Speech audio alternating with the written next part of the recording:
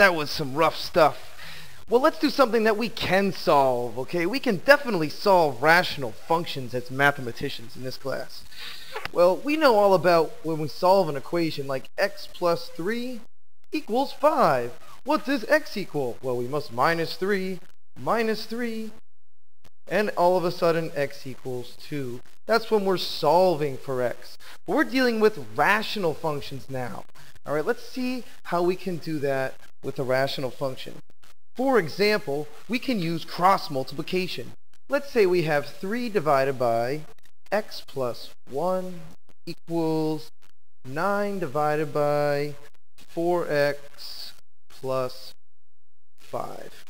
Well, we can easily use multiplication if I take these two, and that ends up being 9 times x plus 1. It's going to equal these two. 3, that's a 3, times 4x plus 5. If I multiply it in, I get 9x plus 9 equals 12x plus 15. Now I want to solve for this. So I'm going to continue on and I can say subtract 9x from both sides and I get 9 equals 3x plus 15. Subtract 15 from both sides. I get 6, negative 6 equals 3x. Divide by 3, divide by 3, x equals negative 2. You can go back and check it, plug it in the x, and you should find out that it definitely works. Let's try another one. Um, before I do it, why don't you guys give it a try back at home. We got 3 divided by 5x equals 2 divided by x minus 7. Why don't you give it a pause and give that a try. Alright, here we're all going to do it. Now I'm going to cross multiply again. So I'm going to take, say, 2 times 5x equals 3 times x minus 7. I'm just going to multiply right in and say 10x is going to equal 3x minus 21. And I can subtract 3x from both sides. Subtract 3x. I get 7x equals negative 21. That's a 1, weird one, whatever. x is going to equal negative 3. Plug it back in and check your work. Alright, now here's the other way that we can solve rational functions. We can multiply everything by the LCD. For example, let's say I have 5 divided by x plus 7 divided by 4 equals negative 9 divided by x. Well, the LCD ends up being, because we take all the denominators and we find out what the common LCD is, it's going to be 4x. So watch this. If I take, if I multiply everything by the LCD, magic happens. Check this out. If I take my 5x, leave a little space, 7 divided by 4, leave a little space, equals negative 9 divided by x. Now let's multiply everything by 4x. But notice how I turn it into a fraction, because it's the same thing anyways. So we know what we're dividing into and multiplying into as well. So let's multiply this by 4x. Divided by 1 is kind of important so you can see that these are multiplied and these are multiplied. Multiply this by 4x. Now we can do that. Algebra says that if we multiply everything by the same thing, it's still equal. Now let's do it all out. I'll end up getting crossing out this x, this x, I'll cross out this 4 and this 4, and I'll cross out this x and this x. Alright, we end up getting 5 times 4, which is 20, plus 7 times x equals negative 9 times 4, which is negative 36. Okay, if you don't see where I got that, you're going to have to go back and notice that we canceled out this x this x. This 1 wasn't even there. We canceled out this 4 and this 4. Canceled out this x and this x. This 1 goes away. And then we just ended up getting 5 times 4 is 20. 7 times x was 7x. And negative 9 times 4 was 36. Now it's a simple algebra problem. If I try and solve this, I'm going to multiply minus 20 from both sides. Minus 20 minus 20, we get getting 7x equals negative 56. We all know that 7 times 8 is 56, but why not just divide by 7? x equals negative 8. If you plug 8 back into the original equation, you'll see that it works, and it's always good to check it. So why don't you go ahead and check that. Okay, let's try this third one, okay? But you will try it before I do it. Here, let's take this one. We got 1, we got 1 minus 8 divided by x minus 5, which equals 3 divided by x.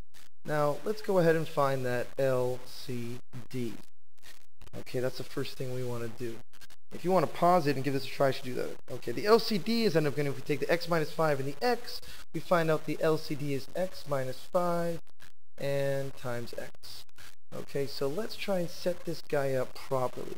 If I'm going to say 1, I'm going to say 1 over 1 just to make life easier. And then I'm going to put this 8 I'm going to put this minus sign far away from this x minus 5, which then equals 3 divided by x. Now, I'm going to take my LCD and I'm going to put it in red, and I'm going to say the LCD is x minus 5 times x divided by 1. And we're going to multiply it by this one too, x minus 5 times x divided by 1. And this one is going to be x minus 5 times x divided by 1. I've divided by 1 so I can make sure I can see what I'm multiplying into. Okay, and then we take the next step, and we're going to realize that this turns into x minus 5 times x. Um, the ones just leave it. Um, this x minus 5 and this x minus 5 cancel out. I end up getting minus 8x, which then equals this x and this x cancel out and I end up getting 3 times x minus 5 and magically the denominators are gone and it becomes an easy problem to solve. So let's take this one and we have x squared minus 5x minus 8x which equals 3x minus 15. Let's combine everything together. This 3x, this 3x, and ends up being x squared minus 16x plus 15, which equals 0. Now we know how to factor, right? And we know that that ends up being x minus 1 times x minus 15. Oh, how do I make this equal 0? Well, x ends up equaling 1 or 15. You could go back and throw it in here and you could double check and find out that you would be correct. Okay, let's do one more before we keep on going. Okay, why don't you guys try this one before I do it. Uh, let's take this one. Right, so we got 6 divided by x minus 3 equals 8x squared divided by x squared minus 9 minus 4x divided by x plus 3. The first thing I want to do is find the LCD. Okay, because I want to get rid of these denominators. And how I'm going to do that is I'm going to first factor everything in denominator just like we did before.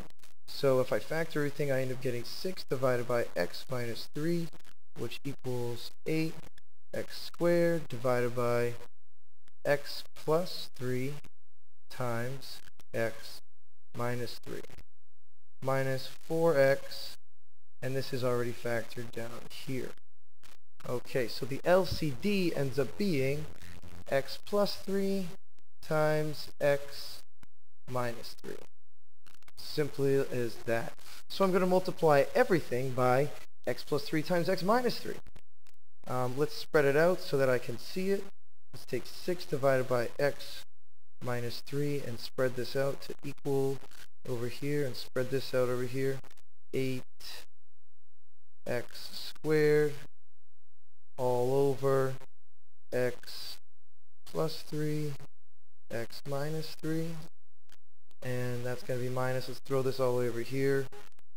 4x divided by x plus 3 I just made these spaces so that I could then throw in my LCD multiply it all by x plus 3 times x minus 3. I'm going to divide it by 1 because I can do that. And I'm going to say here is x plus 3, x minus 3, all over 1. And here I will say x plus 3, x minus 3, all over 1. Let's slash things out. Alright, I can slash this, slash here. We can slash here. And what do we have left? We end up having 6 times x plus 3 equaling 8x squared minus 4x times x minus 3. Okay, now we need to combine everything. We end up getting 6x plus 3 equals 8x squared minus 4x squared plus 12x. Okay, let's continue combining. Switch colors here. If I combine it all, I end up getting, if I move all the way this all over here, I end up getting this is 0 equals oh, this 6x and 12x and combine these to negative to just 4x. I end up getting 4x squared plus 6x minus 18. Ooh, that is wrong because this must be an 18 there because we did 6 times 3. I hope you caught that. Now, we need to factor this. It's ended up factoring to 2x minus 3 times x plus 3. Now, if you don't know how to factor this, you need to go back and figure out how to factor this. Come see me. We can just do a bunch of factoring problems, no problem. Or review chapter 4. This is from chapter 4. Okay, and we end up finding out that x is going to equal, equal either equal 3 halves or negative 3. Alright, now we're going to run into a problem. This problem in red. If I plug in this negative 3 back into my original equation, we might find a problem because if I actually do plug that in, it ends up being 6 divided by negative 3, negative 3 minus 3, which does not equal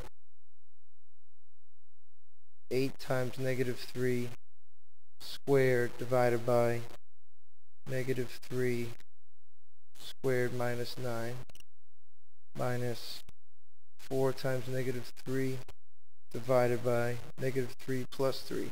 Why? Because this and this end up equaling 0. And we can't have a 0 in the denominator. So, we only have one solution, even though it comes out with 2.